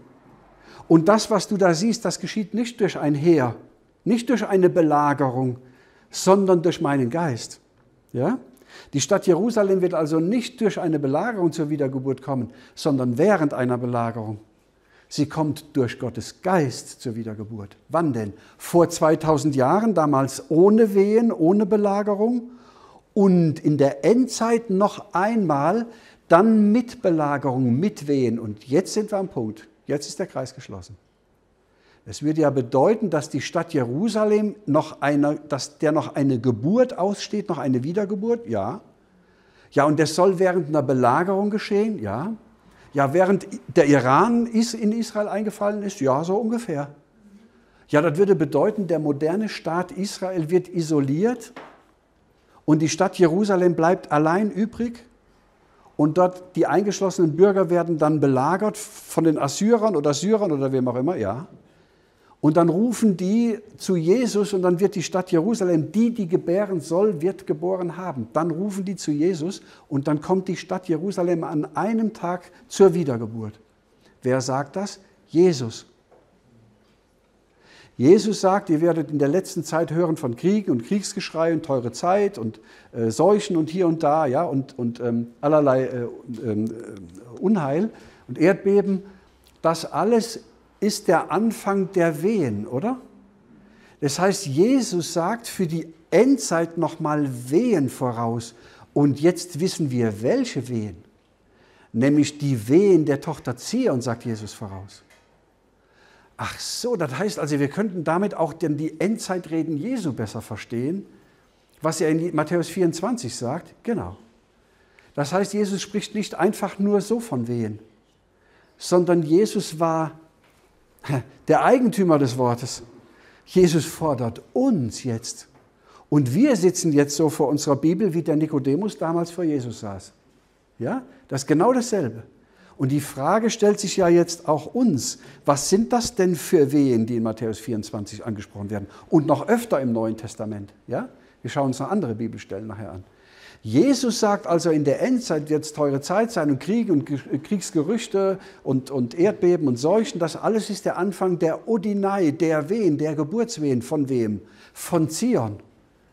Ja, nicht von Berlin oder Washington, nein, nur von Zion, nur von Jerusalem. Das würde ja bedeuten, dass für die Endzeit überhaupt mal Jerusalem mal wieder existieren müsste. Oder der Staat Israel mal wieder existieren müsste, ja? Ja, natürlich. Das habe ich am Anfang gesagt, oder? Jerusalem ist, Israel ist seit 75 Jahren wieder da. Das müsste uns ganz wach machen. Das heißt also, um diese Erfüllung auch der Wiedergeburt möglich zu machen, müsste Israel existieren und Jerusalem existieren, und zwar ein jüdisches Jerusalem, weil es soll ja ein Ölbaum dort noch kommen. Jetzt entstehen langsam überall so Brücken im Kopf, ja, wo man sagt, ah, jetzt kann man das so langsam, fängt man an, das einordnen zu können. Das heißt also, es gab in Jesaja 66 eine Verheißung, dass Jerusalem gebiert ohne Wehen. Wer hat solches je gehört? Wer hat solches je gesehen? Schauen wir uns gleich an. Ja? Ist das schon mal passiert? Ja. Das ist erfüllte Prophetie. Wir Christen kennen das. Das war Pfingsten vor 2000 Jahren. Ja? Dann ist das Evangelium vom Ölbaum Jerusalem weggegangen zu den Heidenvölkern. Hat zu uns, ja? Leuchter. Die ganze Welt ist erleuchtet worden vom Evangelium. Und wenn die Zeit der Gemeinde beendet ist, dann geht das Evangelium wieder nach Hause, dorthin, wo es angefangen hat, nach Jerusalem. Und die Stadt Jerusalem kommt an einem Tag zum Glauben an Jesus, wie damals, so in der Endzeit. Und dann ist das fertig und dann sagt der Engel, das geschieht durch meinen Geist und nicht durch eine Belagerung. Jetzt ja, fängt man an, die Bilder zu verstehen. Ja? Und es ist nicht so sehr kompliziert, aber wir haben jetzt so einen, einen guten Überblick über das, was die Bibel uns zur Wiedergeburt Jerusalems sagt. Jetzt wissen wir, dass der Staat Israel auch wieder existent sein musste. Ja, ich habe äh, Dienstag nächster Woche kommt jemand zu mir von einer Gesellschaft, die sich für Israel sehr stark einsetzt. Und äh, wir wollen uns unterhalten. Das wird, glaube ich, ein spannendes Gespräch. Ähm, da geht es auch um diese Themen. Ja? Der hat es auch äh, gelesen jetzt und wollte gern vorbeikommen, wollte sprechen mit mir drüber. Ich hoffe und bete, dass wir da ein gutes Gespräch bekommen. Aber wir haben jetzt ein, ein, ein Bild fürs Alte Testament, aus dem Alten Testament für Geburt. Waren das die Bilder, nach denen Jesus Nikodemus gefragt hat? Ja. Das heißt also, wenn wir heute mit Jesus am Tisch sitzen würden und er würde sagen, wo steht denn die Wiedergeburt im Alten Testament, dann hätten wir ja Antwort. Ja. Auch für Golgatha hätten wir Antwort. Ja. Ja, dann wären wir ja auf der Höhe der Zeit, sage ich mal, irgendwo mit unserem Bibelwissen. Ja. Und das ist was Schönes. Ja, das ist was Wichtiges für einen Christen. Denn wenn wir fest werden mit Wort Gottes, werden wir zu Charakteren. Wir sind keine Typen mehr. Ja? Wir, werden wir wissen, woran wir glauben. Wir sind nicht klugen Fabeln gefolgt ja? sondern wir haben, Petrus sagt, wir haben den Herrn Jesus selber gesehen. Und wir sagen, wir haben sein Wort gelesen. Und es ist so, als ob wir ihn selber gesehen hätten. Ja? Wir, folgen, wir glauben lange nicht alles, ihr ja auch nicht, oder? Also nach den letzten drei Jahren glauben wir bei weitem nicht mehr alles. Also ich glaube schon lange nicht mehr alles, ja? Bin ich viel zu alt für. Ja, ich sage, erzählt mir doch nicht alles, ja? Ich glaube ja, ja. Und das sagt die Bibel auch. Prüft alles und das Gute behaltet. Aber jetzt haben wir eigentlich dieses Ausgehen von dem Gespräch Jesu mit, ähm, mit Nikodemus und dadurch, dass wir Golgatha im Alten Testament gesucht haben und dann die Wiedergeburt, sehen wir so zwei Stränge, die ins Alte Testament führen und wieder ins Neue Testament. Weil jetzt schauen wir mal, ob wir im Neuen Testament auch Bibelstellen finden. Die habe ich schon zitiert. Jesus, ja? Ihr werdet hören von Kriegen und Kriegsgeschrei. Ich vermute stark im Nahen Osten, ja? Nicht in der Ukraine so sehr, sondern eher in, in Israel. Und das, ich bin immer vorsichtig damit vorhersagen, ja? Aber das sagt Jesus. Ihr werdet hören von Kriegen und Kriegsgeschrei. Seht zu und erschreckt nicht, denn das muss alles so, das muss so geschehen, aber es ist noch nicht das Ende da. Denn es wird sich ein Volk gegen das andere erheben und ein Königreich gegen das andere. Und es werden Hungersnöte sein und Erdbeben hier und dort. Das alles aber ist der Anfang der Wehen. Das heißt, Jesus redet von Geburtswehen. Und wir wissen, was er meint. Wir wissen, dass er sagt, wenn das kommt, wenn Kriege und Kriegsgeschrei kommen, dann wird Zion belagert und dann fangen Wehen an. Und die Wehen dauern nicht lange, denn in neueren Übersetzungen steht, kaum in Wehen hat sie schon geboren. Jesaja 66, ja, je nachdem, welche Bibelübersetzung ihr habt. Das, die Belagerung dauert nicht lange. Das ist wie eine Sturzgeburt. Jerusalem wird belagert und plups sind die alle zum Glauben gekommen an Jesus. Ja? Also das ist eine Bibelstelle aus Matthäus 24, wo Jesus über Wehen redet. Paulus, 1. Thessalonischer 4. Denn wenn sie werden sagen, es ist Friede, es hat keine Gefahr, so wird sie wen? Wahrscheinlich Zion so wird sie das Verderben schnell überfallen, gleich wie der Schmerz oder wie die Wehen eine schwangere Frau. Das ist meine alte Luther, sorry, ja? Ja, gleich wie der Schmerz ein schwangeres Weib oder wie die Wehen eine schwangere Frau. Und sie werden nicht entfliehen. Wen meint Paulus hier? Naja, Zion. Er kann niemand anders meinen. Es gibt nur dieses Geburtsbild in der Verbindung mit der Tochter Zion. Die Tochter Zion ist Kosename für Jerusalem. Und die Tochter Zion kommt in Wehen und gebiert. Und zwar zweimal. Einmal gebiert sie vor 2000 Jahren, damals ohne Wehen, und sie gebiert nochmal in der Endzeit, dann mit Wehen. Das würde aber bedeuten, dass Paulus, wenn er das an die Thessalonicher schreibt, mit den Thessalonichern über diese schwangere Frau und über die Wehen gesprochen hat. Ja? Denn er sagt ja am Anfang von Kapitel 5, es ist nicht Not, liebe Brüder, euch zu schreiben, denn ihr selber wisset gewiss das und so weiter. Woher wussten die das? Von Paulus. Das würde heißen, dass Paulus in Thessaloniki über die Wiedergeburt Jerusalems gesprochen hat? Das glaube ich schon. Das ist heftig, weil dann müssten wir den Vers ja komplett nochmal neu lesen und ergebnisoffen. Ja? Das ist ja, das ist ja eine, eine, erstaunliche Aussage, die da gemacht wird von, von dem Paulus. Ja? Wie lange haben wir denn noch? Viertelstunde? Viertelstunde, ja? Okay, wir machen pünktlich Schluss, ja? Viertelstunde Schluss. ja? Aber das ist hochspannend und das wäre eine Bibelstelle für sich schon mal wert, 1. Thessalonischer 5, darüber nochmal äh, anzuschauen. Weil alle Auslegungen, die ich höre, gehen über diese schwangere Frau hinweg. Oder streifen die nur am Rand. Ja, da geht es immer um andere Themen. Aber wie die Katze um den heißen Brei wird da gepredigt. Und die springt da mitten rein in den Brei. Ja? Und es ist was, was Spannendes. Ja? Also Paulus hat das gewusst. Paulus hat das gepredigt. Das sonst hätte er das nicht so formuliert. Ja? Wenn Paulus das schon gepredigt hat, ist es verloren gegangen. Warum wissen wir denn nichts davon? Ja, ich frage seit 30 Jahren die Pastoren. Haben die das nicht gelernt auf der Bibelschule? Das findet ihr in keinem, ihr könnt ja googeln und ähm, Lexikon zur Bibel oder Wuppertaler Studienbibel suchen. Und wenn ich das sagen darf, das finde ich auch so drollig. Als ich das erste Mal die Videos darüber gemacht habe, da haben ganz viele Kommentare geschrieben. Da haben die sich das angeguckt und gesagt, das kann überhaupt nicht sein. Da gucke ich mal nach, wo das steht. Dann sind sie an einem Bücherregal und haben geguckt und haben nichts gefunden. Dann sind sie Lexikon zur Bibel, Wuppertaler Studienbibel und, und was sie so an Literatur hatten, haben überall geguckt und sie finden nichts Wiedergeburt Jerusalems. Weil das nämlich heilsgeschichtlich ein falscher Begriff ist. Weil Wiedergeburt, so ist das Verständnis, Wiedergeburt ist was Privates. Ich und Jesus. So ist unser Verständnis heute im evangelikalen Umfeld. Ja, ist was Privates. Und Jerusalem kommt erst im tausendjährigen Reich. Aber dass Jerusalem mit Wiedergeburt zu tun hätte, nö. Das sind doch alles Juden. Und die werden ja irgendwie entrückt und dann ist es ja vorbei. Ja? Wenn ich aber von der Wiedergeburt Jerusalems spreche, dann, dann gehört das nicht zusammen. Das ist eigentlich was, was theologisch nicht zusammenpasst. Aber wenn man das hier so sieht und versteht, dann schon. Ja? Und das ist diese, dieses spannende Thema. Aber viele haben da geguckt im Bücherregal und waren da, waren da erstaunt drüber, weil die Literatur da nicht schreibt für. von. Ja? Aber wir können das an der Bibel nachvollziehen. Ja? Das ist noch Paulus, der sagt, nachdem Christus gestorben und auferstanden ist am dritten Tag nach der Schrift, alles nach der Schrift, ja, wurde er gesehen von Kephas, danach von den Zwölfen, danach ist er gesehen worden von mehr als 500 Brüdern auf einmal. Die Auferstehung ist Tatsache, die ist bezeugt, ja. Danach ist er gesehen worden von Jakobus, danach von allen Aposteln. Am letzten nach allen ist er auch von mir als einer unzeitigen Geburt gesehen worden. Was? Wieso bist du denn eine unzeitige Geburt? Ich habe überall gelesen, was ich, was ich auch finden konnte davon.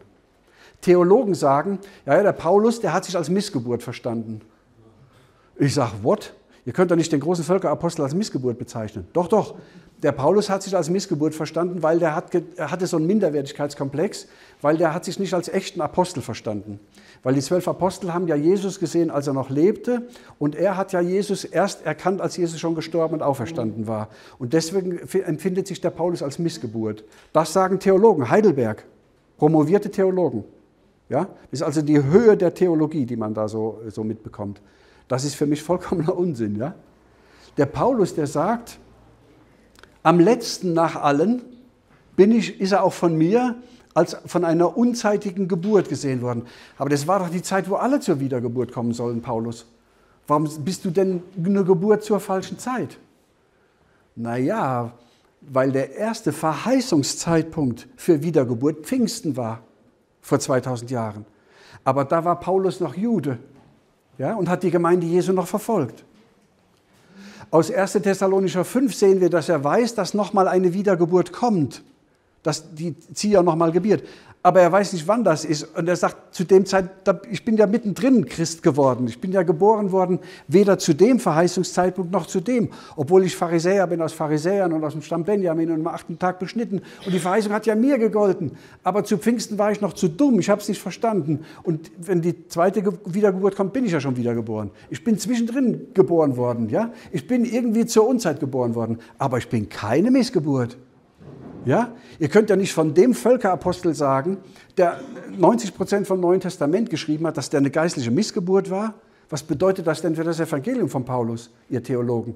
Ich will damit nur sagen, das sind Begründungen, die ihr dort findet, ähm, wo ich sage, das ist keine Begründung. Ja? Das, das, ist kein, das ist eine Pseudo-Begründung. Aber wenn wir wissen von diesen beiden Geburtszeitpunkten der Tochter Zia und von den Verheißungszeitpunkten, dann können wir verstehen, was Paulus hier meint, dass er sagt, nach am allerletzten von den allen bin ich geboren worden, hier steht eigentlich eine Frühgeburt. Das ist dann noch verrückter. Er ist ja der Letzte wohl, der, der Jesus da gesehen hat von allen, der er aufzählt. Dann müsste er ja sagen, ich bin eine Spätgeburt, sagt er aber nicht. Ja? Das passt vorne und hinten nicht. Das bekommt erst Sinn, wenn wir von den beiden Verheißungszeitpunkten der Wiedergeburt Jerusalems wissen und verstehen, dass Paulus mitten inne geboren wurde.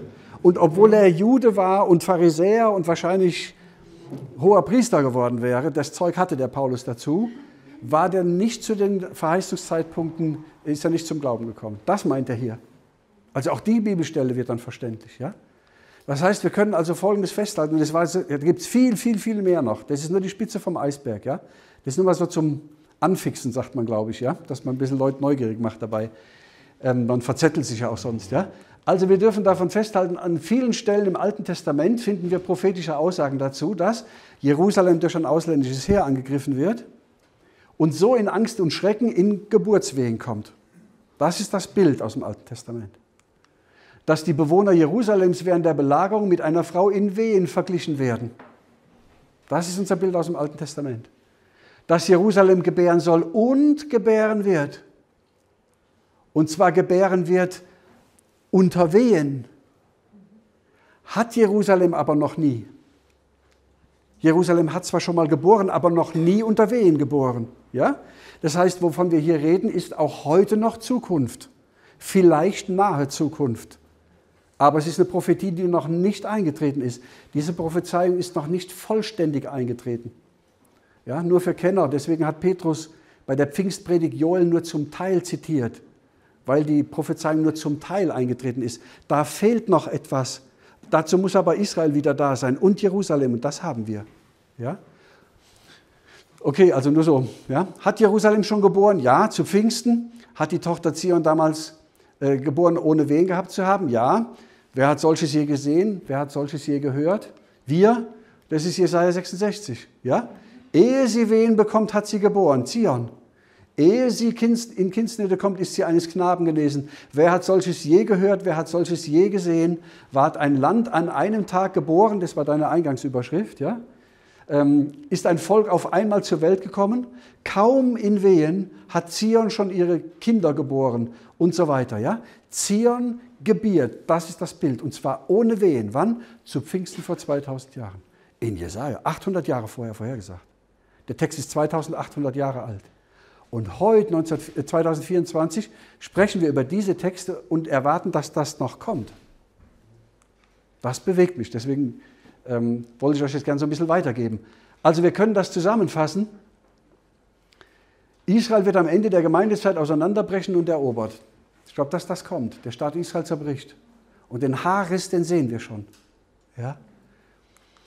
Jerusalem bleibt alleine übrig wie bei Hiskia. Und Jerusalem kommt dann unter den Wehen der Belagerung zum lebendigen Glauben an Jesus Christus. Die, die dann noch übrig sind.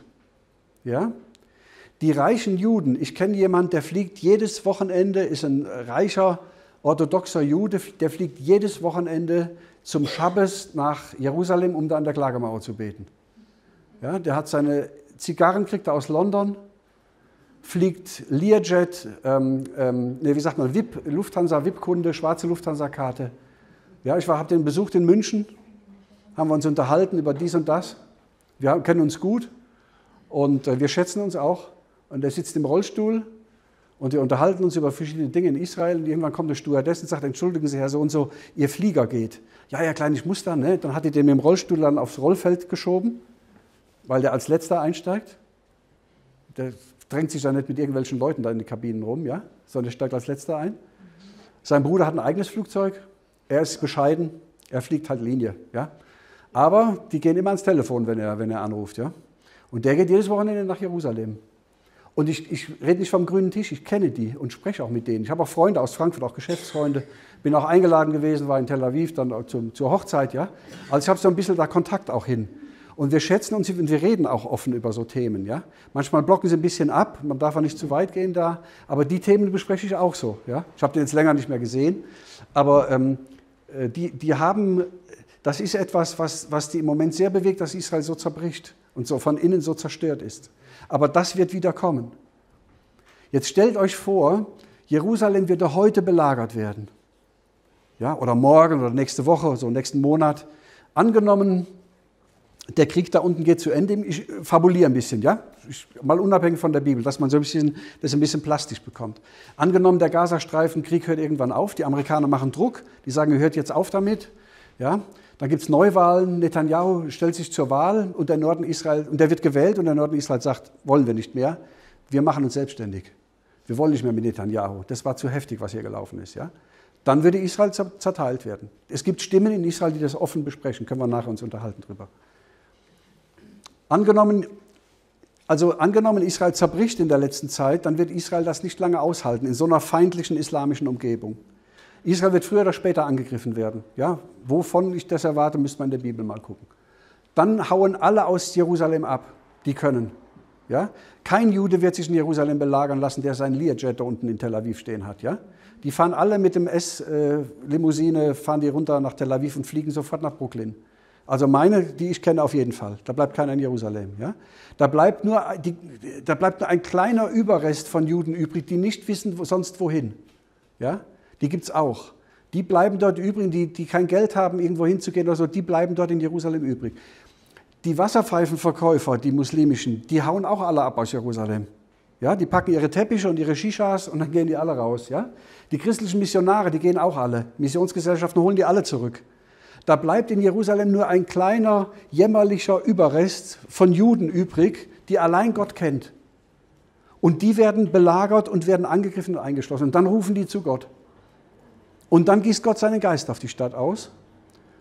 Und dann kommen die zur Wiedergeburt wie zu Beginn. Und dann ist dieser zweite Ölbaum da. Und vielleicht wird das auch im Fernsehen gemeldet werden. Ja, vielleicht kommt in ARD und ZDF, ich erzähle die Geschichte immer gerne, manche haben die auch schon gehört, ja, ich erzähle sie trotzdem nochmal. Dann kommt in ARD und ZDF, sagt dann der Nachrichtensprecher, also in den Kriegswirren im Nahen Osten, speziell in Israel und um Jerusalem herum, gab es eine religiöse Rückbesinnung unter den Rabbinern und die glauben jetzt, dass Jesus der, Mess der, der ähm, Messias ist. Das Wetter. ja? Ihr versteht, was ich damit sagen will, ja?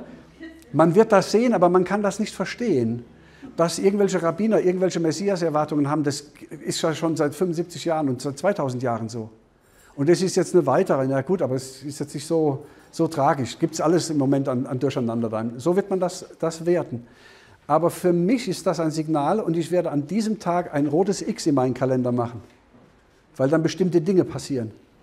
Aber so stelle ich mir das ungefähr vor, ja? dass das ein kleiner Überrest ist, der dann in Jerusalem übrig bleibt und der dann äh, zu, zu Gott schreit und Gott einfach seinen Geist ausgießt. Und dann ist Jerusalem, die Stadt Jerusalem, kaum in Wehen, schon ist sie genesen eines Knaben. Ja? Also sowas, glaube ich, wird kommen an einem einzigen Tag, weil Jesaja sagt, dieses Volk wird auf einmal an einem Tag geboren werden. Ja? Jetzt machen wir kurz Re Rekapitulation, dann hören wir auf. Zwei Minuten. Ja? Jeremia spricht davon, Micha spricht davon, Jesaja spricht davon, Zweite Könige spricht davon, die Psalmen sprechen davon, Paulus spricht davon, Petrus spricht davon, Jesus spricht davon. Was will man denn sonst noch? Ja?